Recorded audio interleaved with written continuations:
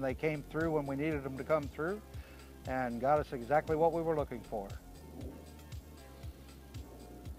Are you happy? I'm very happy. I couldn't believe when I walked in and how the feeling of um, home came to me. So I knew this was the house I was going to get.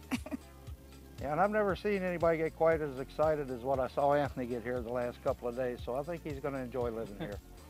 He's, Oh yeah, home sweet home. he- yeah, there you go. so I appreciate both of you for what you've done for us and um, the patience you've had with us.